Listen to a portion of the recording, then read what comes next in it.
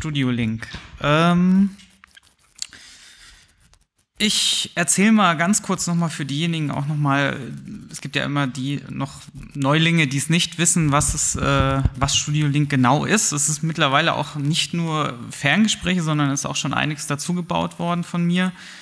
Zum einen, ähm, ja, also erstmal ist es im Kern Ferngespräche über das Internet zu führen, mit dem Fokus halt auf äh, das Podcasting. Ähm, das heißt also, Skype zum Beispiel hat ja überhaupt nichts eingebaut, um jetzt irgendwie was aufzunehmen oder halt Mehrspuraufnahmen fehlen da.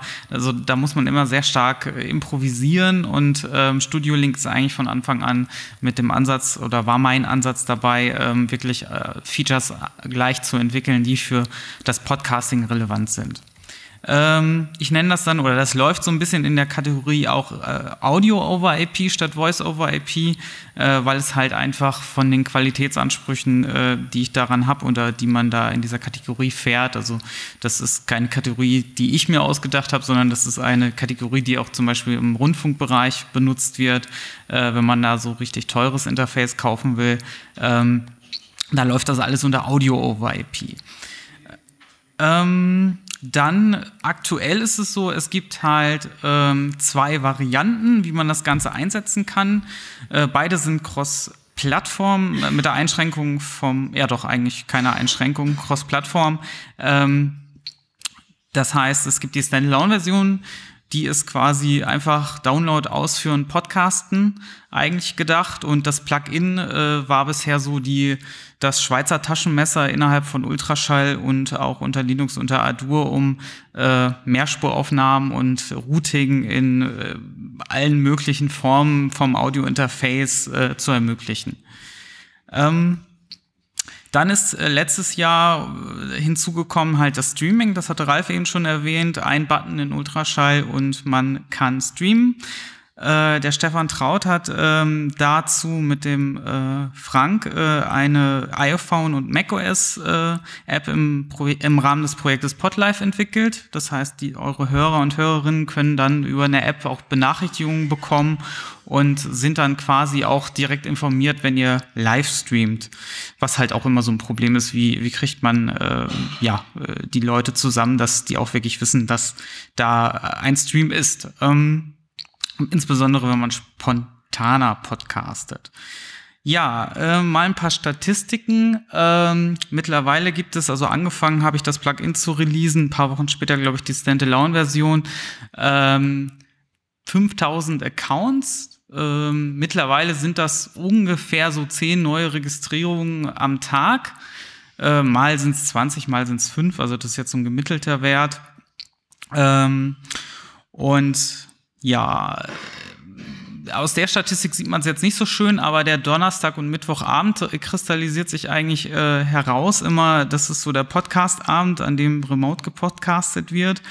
Ähm, da sind dann teilweise wirklich, also das sind jetzt die gleichzeitigen, also maximalen gleichzeitigen Verbindungen, die an einem Tag mal gewesen sind. Das heißt also, wir reißen da aktuell in der Spitze schon über 40 äh, ja, Podcaster, die irgendwie miteinander verbunden sind, abends, donnerstags oder so.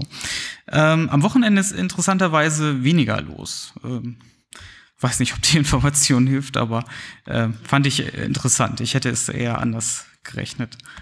Ähm, ja, Studio Link on Air selbst hat ähm, circa 50 aktive Streams jetzt in den letzten 30 Tagen zum Beispiel gehabt. Ähm, ist jetzt auch gemittelt. Es gibt Tage, da sind halt ist gar nichts los und es gibt Tage, da sind irgendwie fünf bis acht Streams teilweise online. Ähm, das ist immer sehr unterschiedlich. Aber auch da, Mittwochs und Donnerstags, äh, kristallisiert sich da durchaus als die beiden Abende raus, ähm, die da sehr häufig genutzt werden. Ähm, ja, insgesamt haben sich seitdem 625 Podcasts quasi einmal diesen Button äh, betätigt. Davon haben dann 71 wirklich Metadaten hinterlegt. Das sind also wirklich, äh, wo ein Coverbild und äh, Beschreibungen und so weiter hinterlegt sind. Ähm, die sind auch eigentlich dann auch äh, fast alle in der Podlife-App äh, drin. Ähm, und ähm, die kann man sich dort also quasi zusammen suchen und hören. Ja, ähm, dann habe ich jetzt mit dem nächsten Release vor, die, der Standalone-Version ein wenig mehr Fokus zu äh, geben, was äh, Features angeht. Es, also mein Ziel ist es halt, Podcasting für Ferngespräche auch immer einfacher zu machen. Ähm, Ultraschall hat halt viele Funktionen, aber ich kann das durchaus immer verstehen, dass es vielleicht ähm, für den Einstieg äh, etwas überfordernd ist. Und da möchte ich mit der Standalone-Version zumindest diesen Einstieg verbessern, dass man quasi sich dann hochleveln kann zu Ultraschall ähm, und ähm, dann vielleicht da gar nicht mehr so viel Angst vor haben muss. Ähm, dementsprechend, was es allerdings nicht geben wird, es wird also kein Soundboard geben, es wird kein flexibles Routing möglich sein. Also wer da noch wirklich schon direkt mit loslegen möchte, der wird weiterhin gut bei Ultraschall natürlich aufgehoben sein und den ganzen anderen Features. Also äh, ihr habt Ralfs Folie ja gesehen, also da kann man sich ja beliebiges auspicken. Ähm, ja, also hinzu kommt dann in, in der nächsten Version bei der Standalone-Version die Mehrspuraufnahme. Ähm, dann automatisches N-1-Routing. Das heißt also, wenn ihr mehr als einen Gesprächsteilnehmer habt, mit dem ihr verbunden seid, dann muss ja immer das Audio irgendwie zurückgespielt werden. Das zu konfigurieren beim Audio-Interface ist schon schwierig. Das in der Routing-Matrix zu konfigurieren, das ist bei Ultraschall auch schon automatisiert. Das wird äh, quasi dann auch in der Standalone-Version funktionieren. Ähm, das Streaming habe ich auch eingebaut. Das war jetzt eigentlich relativ einfach, weil es auf der gleichen Technologie basiert. Ähm, es wird auch endlich möglich sein, das Audio-Interface äh, auszuwählen. Das war, glaube ich, das ist eines der, der meisten Features, die sich gewünscht worden sind, was ich sehr gut nachvollziehen kann. Nicht ganz trivial ist, gerade Cross-Plattform äh, mit allen Audiotreibern ist das immer ein bisschen äh, schwierig umzusetzen, aber ähm, es wird kommen. Ähm, und dann natürlich, klar, man möchte irgendwas veröffentlichen, dementsprechend müsste man auch mal irgendwas aufnehmen. Das wird dann äh, aktuell, also aktuell ist es so in der Standalone-Version, geht halt nur lokales äh, Double-Ender-Recording. Das ist halt eher so eine Backup-Aufnahme, wenn äh, das Signal, was man in Ultraschall oder im Plugin vielmehr aufgenommen hat, jetzt nicht äh, gut taugt für eine Veröffentlichung, dann greift man darauf zurück. Aber es wird dann jetzt auch möglich sein, komplett die Aufnahme dann im Standalone zu fahren. Und dann kann man natürlich mit einer beliebigen DAW das Audiomaterial bearbeiten ähm, oder halt äh, sich dann auf Ultraschall hochleveln. Ja, mache ich doch mal eine kleine Demo. Ähm, dann gucken wir uns auch mal ein paar Features an, die auch das Plugin dann erhalten wird. So, das ist ein bisschen klein wahrscheinlich. Ich möchte es mal ein bisschen größer. So. Ja, ähm, das ist dann quasi das überholte Interface, quasi jetzt so ein, ist kein Frühlingsrelease, ein Herbstrelease, also insofern, äh, vielleicht wird es auch ein Winterrelease, ich hoffe es nicht. Ähm, und dann, ähm, ja, das neue Logo ist drin. Äh, wer die alte Oberfläche kennt, wird schon so ein bisschen merken, dass es ein bisschen ja, frischer daherkommt. Ähm, mein Netzteil? Ich habe kein Netzteil dran. Okay, habt ihr Ähm, Genau, und ähm, vom Workflow her, also vielleicht einmal für diejenigen, die wirklich jetzt ganz neu sind, Studio Link funktioniert so, dass quasi jedem Benutzer eine, ah, jetzt komme ich zurück, eine ID zugewiesen wird, das ist die hier oben in der Ecke. Ähm, die ist quasi pro Gerät einmalig und äh, identisch. Das heißt also beim Neustart äh, der Standalone-Version oder des Plugins ist die immer gleich.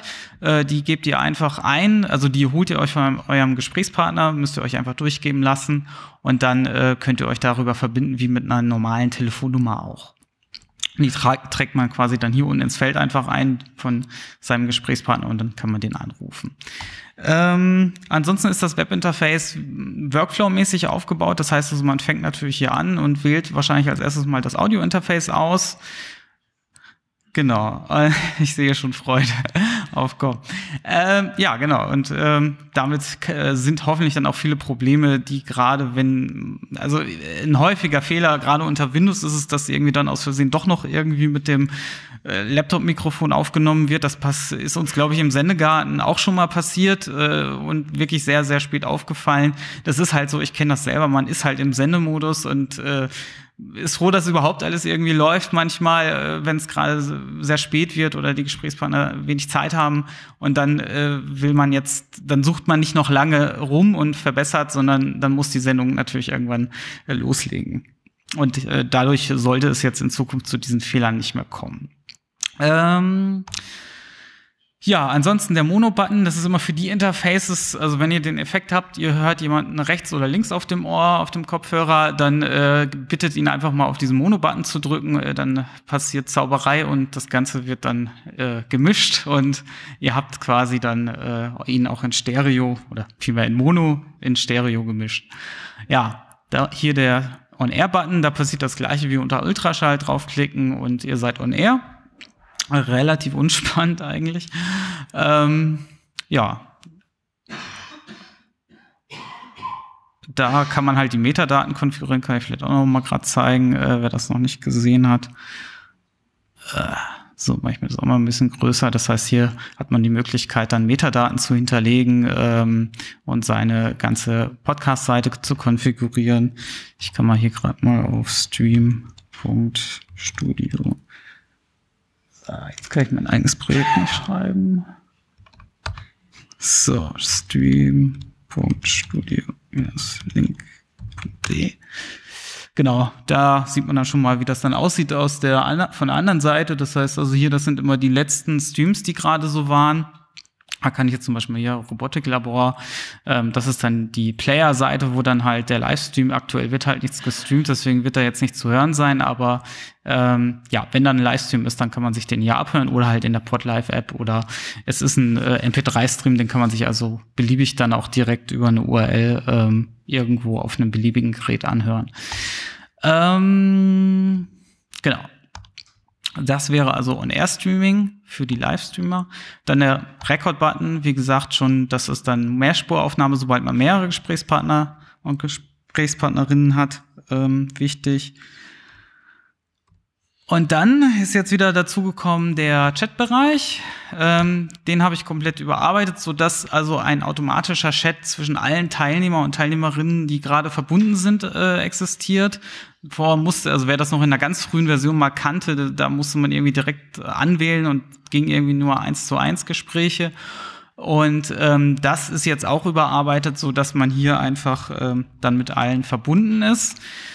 Das hat mich dann auch dazu gebracht, also der Sendegarten ist immer so mein, äh, ja, ich, ich, äh, mein, wo, wo wir halt auch alle Probleme haben, die, glaube ich, die meisten auch haben. Man, man ist irgendwie im Gespräch, aber will den anderen nicht ins Wort fallen.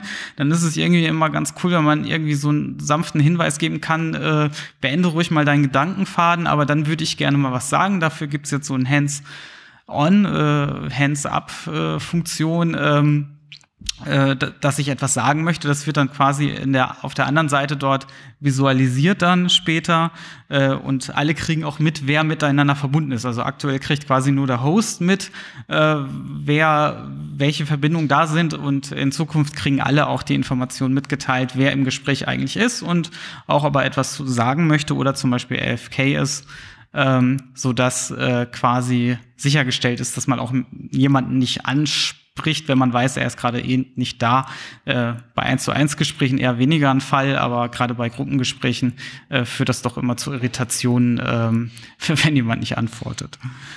Ähm, was äh, dadurch bedingt auch wieder dazugekommen ist, ist das Adressbuch. So, das heißt also, ihr könnt hier manuell dann einfach Kontakte eintragen, ähm, diese Kontakte halt ähm, ja einfach mit Namen und dann auch direkt anrufen. Ähm, damit das Ganze noch ein bisschen einfacher wird, habe ich das so gestaltet, dass ähm, wenn ihr quasi ein aktives Gespräch habt, ähm, hier direkt ein Shortcut drin liegt, dass ihr also quasi nur noch dann Add und zack, Name und fertig äh, ist die Laube. So. Ja, ähm, das sind so im Kern die wichtigsten Neuerungen an der Stelle. Äh, Gibt es da schon irgendwelche Anmerkungen, Fragen zu? Ja. Ähm. Achso, vielleicht ein Mikrofon. Dim, dim, dim. Wenn ich mich mute, sehen das dann auch die anderen? Dass mein Mikro stumm Ja, also was ich mir gedacht habe, es wäre ganz sinnvoll, bei AFK gleichzeitig zu muten, weil wenn man nicht da ist, dann wird man wahrscheinlich auch nichts sagen wollen. ähm, das hebt sich auch gleichzeitig gegenseitig auf. Das heißt, wenn man sich okay. entmutet, ist AFK raus und wenn man hier irgendwie sagt Hands-on, äh, dann ist man auch nicht mehr AFK. Also das ist schon mit ein bisschen Intelligenz dahinter. Gut.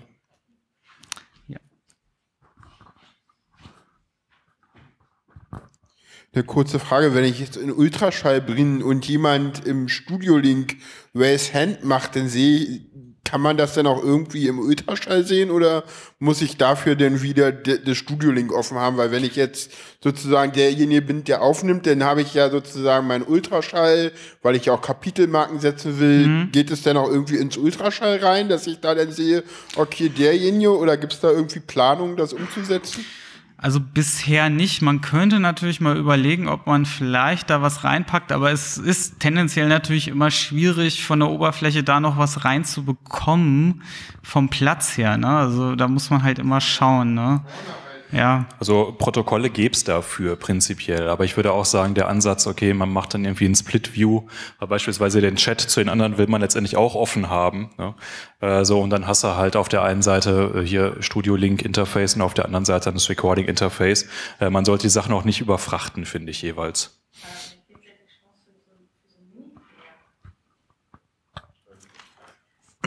Äh, zwei Fragen nochmal. Gibt es da die ganzen schicken Sachen auch im Plugin? Und äh, zweite Frage, was ist denn aus dieser tollen Box geworden?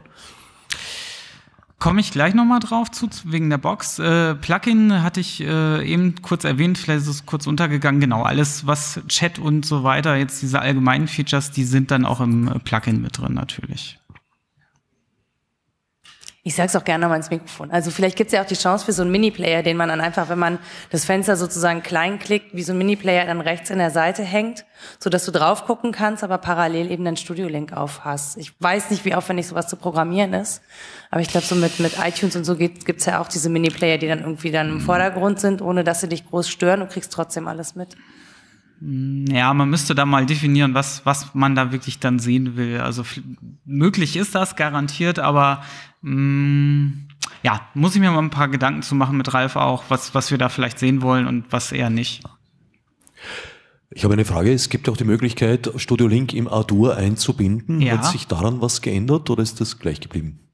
Das ist gleich geblieben. Also wenn ich das Plugin release, äh, dann äh, ist es eigentlich für alle Plattformen immer dabei, auch für Linux. Ähm, manchmal ist, hakt es ein bisschen unter Linux mehr, weil halt äh, die verschiedenen Distributionen kann ich nicht jedes Mal alle durchtesten, aber ich versuche das schon immer so, so gut es geht. Gerade mit OpenSSL gibt es da manchmal so ein paar Konflikte. Äh, wenn da Probleme sind, einfach mich kurz anschreiben. In der Regel entweder ist es mir schon bekannt, dann habe ich irgendwie schon eine äh, Version, die ich euch schicken kann, oder ich fix das dann. Ähm, also ja, also das bleibt eigentlich auch noch die Plattform, um das zu nutzen. Ähm, ja, Unabhängig von der UI, wie sieht es denn mit HTTP Livestreaming aus? Ich frage dafür einen Freund. ja, ähm, im Prinzip ähm, ganz gut. Ich habe da schon mal ein bisschen mit rum experimentiert. Ähm, Werde ich wahrscheinlich irgendwann jetzt äh, mal aktivieren, testweise. Ähm, das, ähm, das sollte sich kurzfristig machbar machen. Also in den nächsten paar Wochen, denke ich, könnte man da schon mal was testweise rausgeben. Ich habe eine Frage zur Stabilität. Äh, was WLAN und schlechte Internetverbindung angeht, habe ich die Erfahrung gemacht, dass da dann ganz schnell Studio Link zusammenbricht. Beziehungsweise für zu Hause nutze ich jetzt immer schon ein LAN-Kabel. Ja. Gibt es da irgendwie Verbesserungen oder ist das ja. immer noch? Das wird sich jetzt verbessern, daran arbeite ich. Allerdings muss ich auch sagen, es gibt diesen Standardpack unter macOS, der irgendwie seit Version nicht rauszukriegen ist von WLAN-Treiberseite, wo wirklich bis zu einer Sekunde teilweise das Netzwerk verloren geht, wenn man zum Beispiel die Spotlight-Suche aufmacht. Da werde ich leider dann auch äh, nicht viel gegen ausrichten können. Ne? Also da heißt es dann lieber mal Finger weg vom Spotlight und irgendwie Internetsuche. Das, das kann schnell mal zu Problemen führen. Und ähm, das ist aber auch meistens ein Problem unter macOS. Ähm, ansonsten passiert es meistens bei WLAN nur, wenn man irgendwie so zwischen schlechter Empfang, guter Empfang schwankend ist. Das ist zum Beispiel auch ein Problem. Aber ja, ich, ich arbeite daran und ich weiß, dass da Probleme sind und das versuche ich zu verbessern. Okay, du, du hast, glaube ich, noch. Ähm, ich habe noch ein bisschen ne? was, Von genau. Daher würde ich ähm, sagen, äh, machen wir jetzt die nächste Runde und dann können wir gucken, genau. ob wir noch Zeit für weitere Fragen haben. So, dann wechsle ich mal wieder. Modus. So, genau. Ähm, damit waren wir jetzt durch. Demo. Äh, ja, das Tolle. Es ist auch eine mobile Variante in äh, Arbeit. Ähm, zum Beispiel für Android ab 4.4 werde ich's, äh, baue ich es gerade. Das sind ungefähr ca. 90 Prozent der Geräte. Ähm, dann äh, iPhone, iOS ist auch in der äh, Entwicklung, noch nicht ganz so weit wie die Android-Variante, aber ähm, ist auch durchaus in der Mache. Ähm, dann, ähm, das soll eigentlich primär für eure Gesprächspartner und Gesprächspartnerinnen sein. Das heißt also, gerade die erste Version wird jetzt wirklich nur darauf reduziert sein, jemanden einzubinden. Das heißt also, der wird da wird es keine Host-Funktionalitäten geben oder ähnliches. Ähm, das ist wirklich sehr reduziert. Ich zeige da gleich noch mal ein bisschen was schon, äh, damit ihr überhaupt äh, Personen reinholen könnt, äh, die vielleicht entweder keinen Rechner haben, nur ein Smartphone oder unterwegs sind oder ähnliches. Ähm, ich denke, das wird auch nochmal einen ganz schönen Bereich öffnen, wo, man jetzt wirklich nochmal Formate starten kann, die vielleicht ansonsten gar nicht funktionieren würden. Ähm, dann, ähm, genau, ich werde dazu dann äh, entsprechend, zu entsprechender Zeit, ich denke mal, ich habe jetzt noch ein, zwei kritische Bugs, die ich zum Beispiel unter Android äh, fixen muss. Und dann werde ich mal so eine kleine äh, Beta-Alpha-Phase starten, wo ich dann einfach auch mal ein Gefühl für kriegen möchte, wie, wie funktioniert es wirklich da draußen, bis auf meinen Testgeräten, ist ja auch immer noch eine andere Sache. Und dazu gehe ich dann eben einfach im Sendegeld, müsst ihr mal gucken, da und auf Twitter werde ich es dann raushauen, wenn es soweit ist und da einen Aufruf starten ich schätze mal, dass das nächsten ein, zwei Wochen könnte das durchaus der Fall sein. Ähm, gucken wir uns das Ganze doch mal gerade schnell an. Ähm, so. Das ist jetzt quasi. Achso, ich sehe das, ihr nicht. so. Ja, genau. So. Ähm, genau, eigentlich relativ unspannend. Das ist die App, die ist halt da. Die ruft man auf.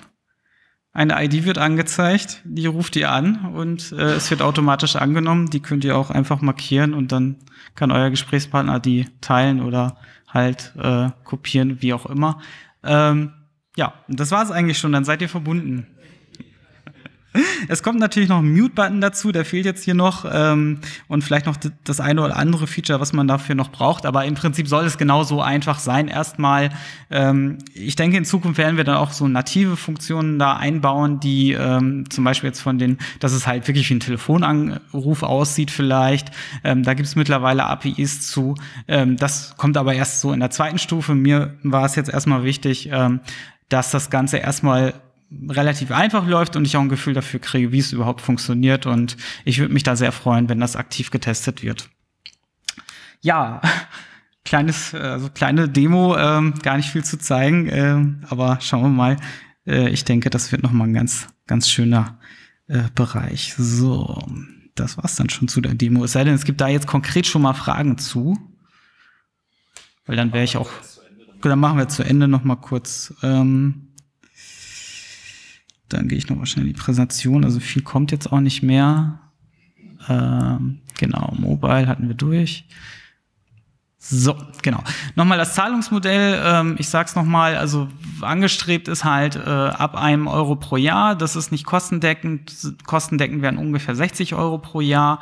Ähm, ich denke, das ist jetzt quasi so, wenn jetzt die Standalone draußen ist, die neue, die Android- und iOS-Varianten draußen sind und einigermaßen keine kritischen Probleme mehr da sind, ist das halt so von der Reihenfolge das nächste, was kommt, dass ich dieses Zahlungsmodell dann aktuell äh, aktiviere. Aktuell läuft es halt so, dass es halt äh, kostenlos nutzbar ist. Ähm, es entstehen keine Kosten, ihr könnt es einfach nutzen, probieren und äh, mir auch gerne Feedback geben, wenn irgendwas nicht funktioniert, natürlich, ähm, auch wenn es noch nichts kostet. Ähm, dann, eben wurde es schon angesprochen, die Box. Ähm, das ist quasi dann so erst das nächste Schritt. Also ich habe jetzt die Prioritäten ein bisschen verschoben, weil ich schon denke, dass die Software-Varianten und gerade jetzt die mobilen Varianten, das ist das, was wesentlich wichtiger ist, erstmal zu haben. Die Box ist halt äh, nach wie vor auch mir sehr wichtig, aber es ist noch mal, ich, ich, ich bin auch noch am überlegen, wie man welche Features in die Box noch einbaut. Vielleicht überspringe ich da schon eine Stufe. Also das Endziel ist zum Beispiel bei der Box auch wirklich ein Audio-Interface mit drin zu haben, das integriert ist, so dass man also kein Audio-Interface bei der Box anschließen muss. Ähm, da bin ich noch nicht ganz so sicher. Ähm, aber das ist so wahrscheinlich dann, wenn das mit dem Zahlungsmodell und alles läuft so ein bisschen, dann erst ein Thema für mich äh, geworden, weil es einfach zeitlich anders nicht möglich ist und ich äh, habe die Prioritäten jetzt so ein bisschen verschoben an der Stelle. Ähm, ja, dazu dann hoffentlich mehr zur Subscribe 10 oder vielleicht X. Hm, mal schauen. Ich weiß nicht. ja, vielen Dank. Fragen jetzt.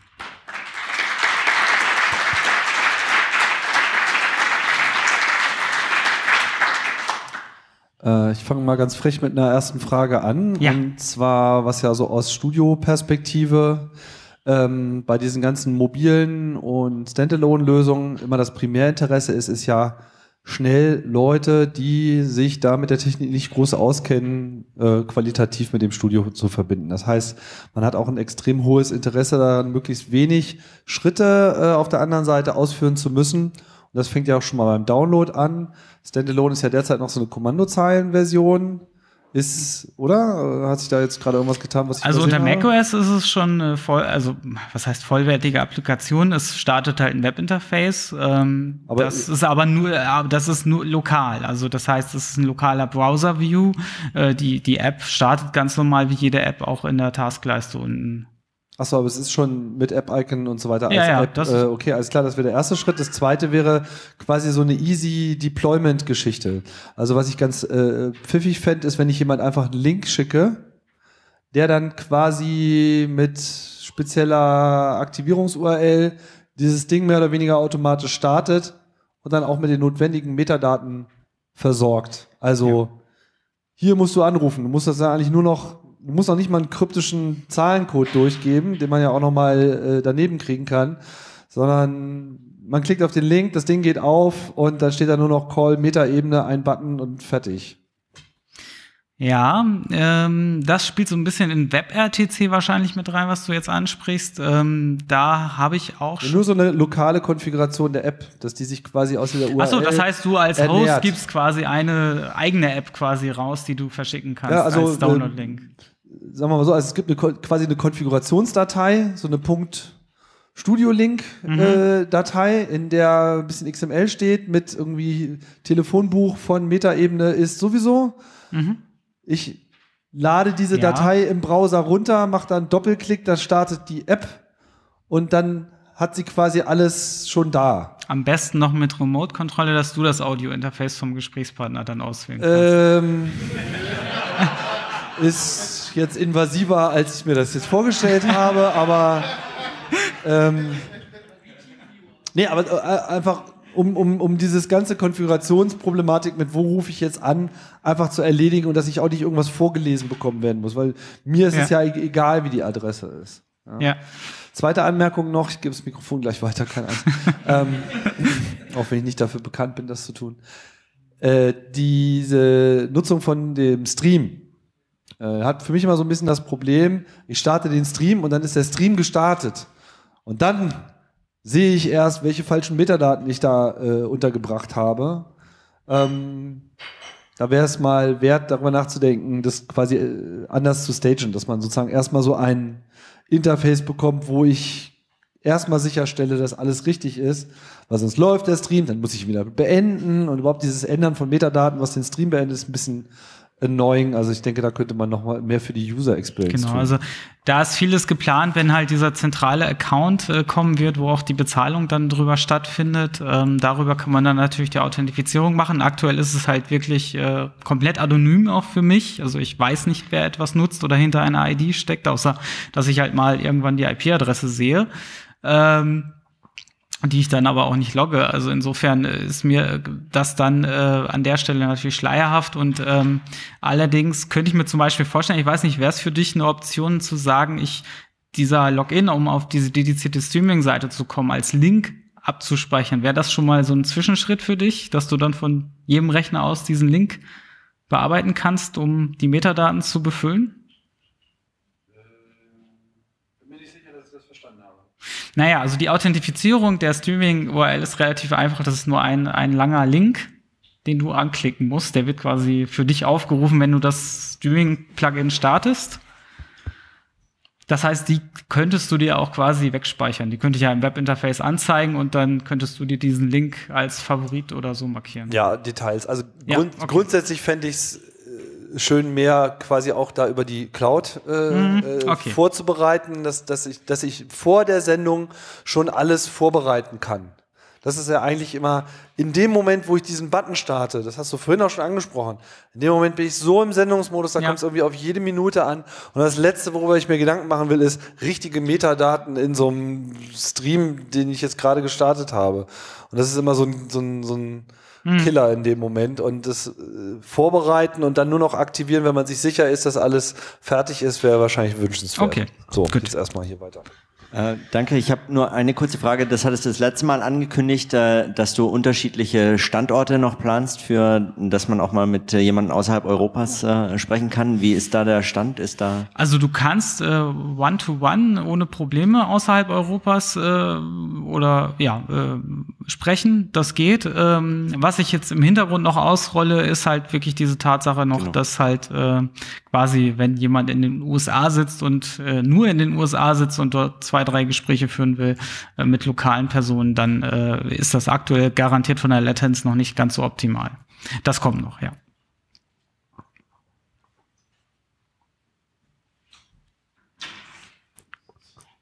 Diese automatische Rufannahme hätte ich dann auch gerne als Option in der normalen Version. Mhm, kommt. Weil im Zweifelsfall, wenn ich Studio Link aufhab, dann, wenn ich, während ich podcast und äh, gibt dann auch noch andere Einsatzzwecke, die man dann damit erfüllen Mhm. könnte. Ja, ich habe eine Frage zur, zur App, also zur mobilen App. Wie sind da die Ansprüche, was die Verbindung angeht? Weil die, mein Handy kann ich schlecht an Ethernet-LAN-Kabel anschließen und manchmal sitze ich im schlechten Hotel-WLAN. Das wird wahrscheinlich dann auch nichts werden. Also gerade Hotel-WLANs sind natürlich immer auch Uni-Netzwerke, die irgendwie dicht gemacht sind. Ähm, da habe ich auch noch was in der Hinterhand, quasi so einen automatischen VPN-Tunnel, der dann irgendwie über HTTPS. Das ist ein bisschen tricky, darüber Audio zu kriegen, dass es auch gut klingt. Ähm, aber ich kann mir da schon das ein oder andere vorstellen, das Protokoll ein bisschen zu äh, vergewaltigen. Ähm, aber das, das könnte klappen, ja. Man kann äh, iOS-Telefon jetzt auch an Ethernet anschließen übrigens. Okay, wir müssen ein bisschen auf die äh, Zeit gucken, damit ihr nämlich ein bisschen Zeit habt, für den nächsten Slot noch eure äh, nächsten Workshop-Räume zu suchen. Ich würde sagen, bis hierher. Vielen Dank, Sebastian. Gerne.